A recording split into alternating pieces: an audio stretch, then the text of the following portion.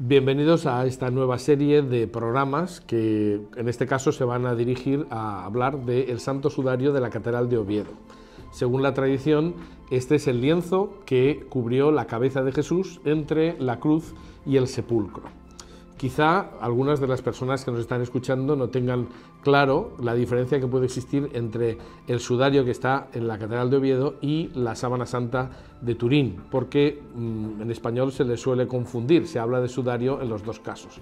En realidad son cosas completamente distintas. Si nos fijamos en lo que dicen los evangelios, veremos que los tres evangelios sinópticos pues, nos hablan de... Eh, una sábana. Jesús fue envuelto en una sábana cuando fue bajado de la cruz y fue llevado al sepulcro. En realidad, eh, ese envoltorio no tuvo por qué ser al pie de la cruz, podía ser en el sepulcro ya. Pero, sin embargo, para bajar el cuerpo, pues pensamos que existió otra tela auxiliar que cubrió el rostro, eh, porque precisamente el evangelista Juan, cuando habla de eh, la sepultura de Jesús, mejor dicho, cuando llegan Pedro y Juan al sepulcro, ven dice Juan, los lienzos aplanados, caídos, llanos, y el pañuelo que había estado sobre su cabeza dice que no estaba con los, eh, con los lienzos planos, sino enrollado en su sitio aparte. Esa sería una traducción bastante ajustada a lo que dice el evangelista. En realidad yo he dicho pañuelo, donde en griego pone sudarión. Por eso la confusión, ¿no? Llamar a la mortaja, a la sábana, llamarla sudario también.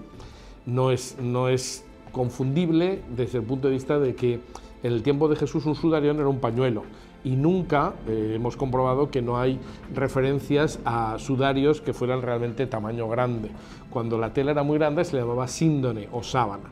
Por eso lo primero que tenemos que tener claro es que había una sábana y había un pañuelo, es decir, un sudario, en el lugar de la sepultura de Cristo y del pañuelo se dice que había estado sobre su cabeza, no que estaba. Por tanto, cuando Pedro y Juan entran en el sepulcro, lo que ven es la sábana aplanada, allanada, vacía, y por otro lado, un pañuelo, que sería el sudario, que había estado antes de la sepultura en el usado sobre la cabeza de Jesús.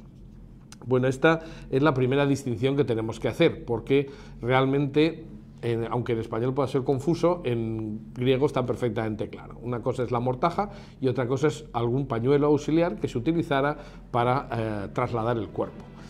Eh, en realidad, precisamente sudario, sudarión, que es la palabra griega, para nosotros no tiene más que una vinculación con un cadáver. Sin embargo, en el tiempo de Jesús, sudarios simplemente era un pañuelo que, se, que servía para recoger el sudor.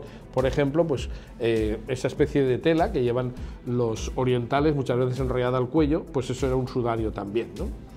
Lo que pasa es que ese pañuelo se podía utilizar de diversas formas. ¿Eh? no solamente para cubrir la cabeza o para recoger el sudor del cuello, sino que también cuando estábamos ante un caso de una persona ejecutada, en la que, bueno, en esa ejecución hubiera habido una deformación de la cara, donde se ve que esta persona pues, ha sufrido o está desagradablemente, pues eh, se podía utilizar un pañuelo para cubrir el rostro es, eh, por tanto, una función que puede también tener que ver con un ejecutado o incluso con un, con un cadáver. Sabemos, por ejemplo, que eh, Lázaro, cuando Jesús mm, lo resucita, le hace salir de la tumba, dice que tenía el cuerpo mm, recogido con vendas y un pañuelo en torno a la cabeza. Jesús no fue envuelto así, por lo que parece, no se dice que se utilizaran vendas.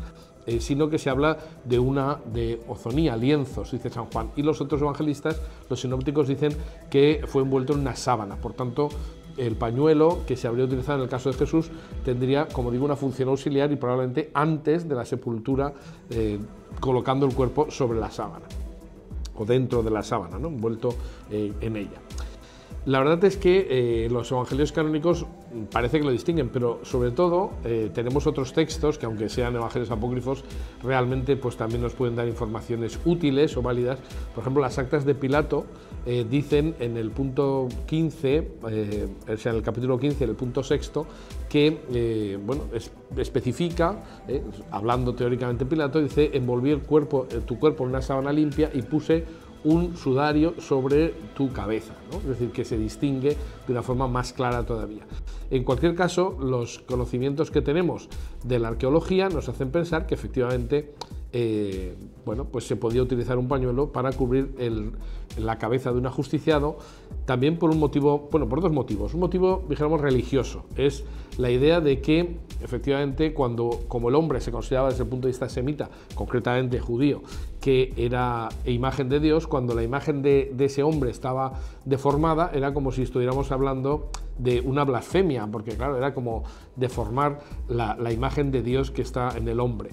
Pero por otra parte, un motivo práctico, cuando tú tienes una persona que está colgando de una cruz y tiene un edema de pulmón agudo y lógicamente pues tiene un encharcamiento pulmonar, eh, si quieres bajarlo de la cruz, lógicamente al, apretar eh, la caja torácica, pues es fácil que el líquido salga, incluso pues se lo, se lo, tire por encima la persona que está moviendo el cadáver. O sea que era de una cierta utilidad colocar un pañuelo para evitar esos fluidos. Evidentemente mm, eran de tamaños distintos. La sábana de Turín es un ejemplo claro de cómo podía ser una mortaja eh, y la forma de colocación del cuerpo dentro de la sábana de Turín, según nos dan a entender los que han estudiado este objeto, pues eh, es una, forma de envolver un cadáver que existía en el tiempo de Jesús. Y el pañuelo, pues podría ser del tamaño del sudario que hay en la Catedral de Oviedo. De ahí el interés de estudiar esta pieza, que como vamos a ver a lo largo de esta serie, pues es la prueba del 9 de la autenticidad de la sábana santa. ¿eh? El sudario de Oviedo está en Oviedo pues, eh, desde el siglo VIII, IX, pero lo que hay una cosa clara es que eh, hay referencias a la existencia en España del sudario desde el siglo VII. Por eso, eh, pues si la sábana y el sudario, como veremos más adelante, coinciden de alguna manera, pues podríamos decir que, habrá que ver si es el mismo cadáver, si se utilizó en la misma, el mismo acto, ¿verdad? una tela y la otra. Y eso es lo que vamos a ver que puede ser perfectamente. Bueno, entonces eh, está claro que la sábana de Turín es muchísimo más grande que lo que sería el sudario, porque el sudario se habría colocado solamente como un pañuelo para envolver el rostro, ¿eh? el rostro y la cabeza también, toda toda la cabeza. Y entonces la pregunta es, vamos a suponer que efectivamente la sábana y el sudario estaban en la sepultura de Jesús. Llegan Pedro y Juan, llegan al sepulcro, ven de forma distinta, la sábana como aplastada, como deshinchada, habiendo caído la parte superior sobre la inferior, y el sudario enrollado sobre sí mismo en su sitio aparte. ¿Y ahora qué hacemos con, las, con estas telas? Porque hay que tener claro que los judíos tienen perfectamente eh, determinado qué hacer en cada momento de su existencia. Entonces también qué hay que hacer con un cadáver. Pues para los apóstoles eh, debió ser un problema grave. ¿Qué, hacemos con el sudario?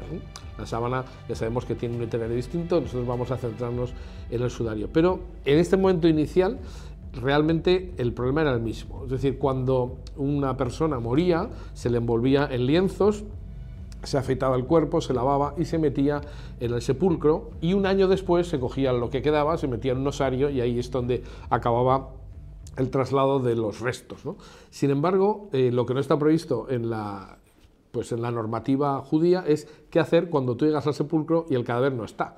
Es decir, tenían un pequeño problema, porque mm, para los judíos la sangre tiene un doble sentido. Por una parte es un objeto impuro y deja impuros a aquellos que tocan lo que ha tocado un cadáver, por otra parte, no se podían llevar de una tumba eh, ningún nada, es decir, porque era una profanación de una tumba y estaba castigado tanto por la ley hebrea como por la ley romana con la pena de muerte, pero en cualquiera de los casos también ellos entendían que en la sangre estaba el alma. Y si en la sangre estaba el alma, tampoco se podían tirar a la basura estos lienzos. Es decir, normalmente se hubieran quedado con los restos mortales y ya digo que al final hubieran acabado en un osario. Pero, ¿qué pasa si tú llegas allí y el cuerpo no está?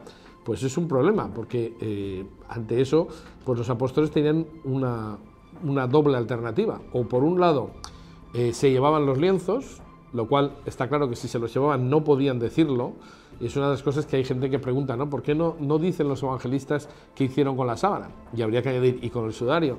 Bueno, pues porque si lo decían estaban reconociendo que habían cometido un delito y además desde el punto de vista religioso era una profanación de una, de una tumba, lo cual era bastante, vamos, como para publicarlo, ¿no?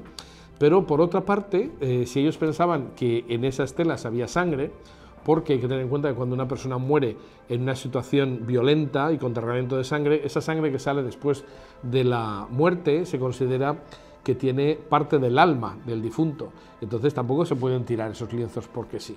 Entonces, ¿qué es lo que tenían que hacer los apóstoles? Bueno, pues eso era una cosa que tuvieron una decisión que tuvieron que tomar por las buenas, ¿no? por, em, digamos que improvisando.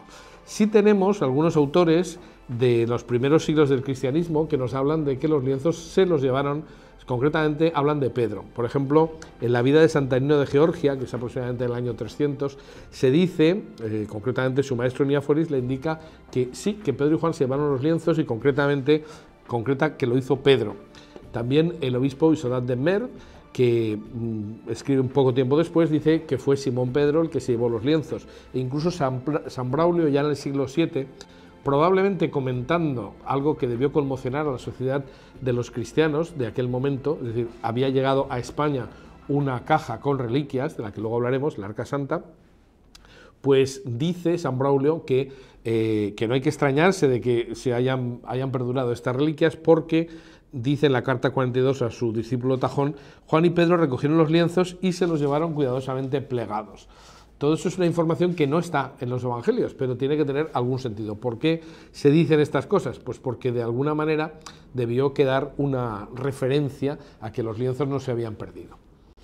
O sea que esta es la primera cosa que tenemos que tener clara, ¿no? Es decir, las sábanas y sudario son dos lienzos que se mencionan por San Juan, pero como cosas separadas y compatibles. Entonces lo que nos quedaría ahora en esta primera charla de introducción es decir, bueno, ¿y eso tiene algo que ver con lo que existe en, la Catedral de Oviedo, en España? Bueno, pues efectivamente, resulta que si nosotros buscamos por catedrales o por otros sitios lienzos que puedan ser ese pañuelo, ese sudario, que habría envuelto a la cabeza de Jesús, resulta que no tenemos en ningún sitio eh, un lienzo así, salvo precisamente en la Catedral de Oviedo en España concretamente en la parte más antigua de la catedral, que es la Cámara Santa de la catedral. La Cámara Santa en realidad era el, lugar de las reliquias, es decir, el tesoro del rey de Asturias, de, eh, Alfonso II el Casto, y es anterior a la propia catedral. La catedral es una catedral gótica, pero la Cámara Santa es del prerrománico asturiano. Allí hay una serie de, además patrimonio de la humanidad desde hace unos años. Entonces, en esa zona, que se ha restaurado recientemente, en el año 2014, eh, pues se conservan una serie de elementos que estaban eh, inicialmente en el Palacio del Rey de Asturias. Y efectivamente pues eh, ese relicario era muy conocido hasta el punto de que los peregrinos que cruzaban todo el norte de la península para ir a Santiago de Compostela decían, cantaban una canción en francés que en español también rima, que es que quien va a Santiago y no al Salvador, Salvador es la catedral de Oviedo, que está dedicada al Salvador, quien va a Santiago no al Salvador, visita al siervo y deja al Señor entendiendo que estaba muy bien visitar a Santiago, que era un santo importante, pero que las reliquias que había en Oviedo eran mucho más importantes. Entonces, como dice un refrán español, más es Dios que sus santos. Y evidentemente, pues eh, ahí tenía algo que ver.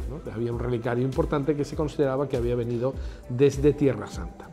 En la parte central de ese relicario, pues podemos ver una tela sucia, manchada y arrugada, que que vamos a ver. No vemos ninguna cara, no vemos un santo rostro, como se ha dicho. Es una tela que aparentemente no tiene ningún valor, pero que eh, siempre ha tenido una veneración en la Cámara Santa. Siempre ha estado desde que llega eh, con la Reconquista, como veremos en el próximo episodio cuando hablemos de la historia, eh, pues mm, cuando llega a, la Cámara Santa, el relicario mm, contiene el sudario y de hecho pues se hacen referencias a esa, a esa permanencia del sudario. No siempre se ha registrado en la en el libro de actas de la catedral que el sudario estaba allí, pero está claro que si se registra la entrada y si no se registra la salida, pues el sudario estaba. De hecho, pues hay una tradición larga que consiste en que se bendice, durante siglos se ha bendecido con el sudario a los fieles el Viernes Santo y luego el 14 de septiembre y el 21 de septiembre, que es la octava. Entonces, ahí tenemos un objeto que merece ser estudiado. ¿Quién ha estudiado el sudario? ¿Quién lo ha descubierto? Pues eso ya creo que será materia del siguiente episodio.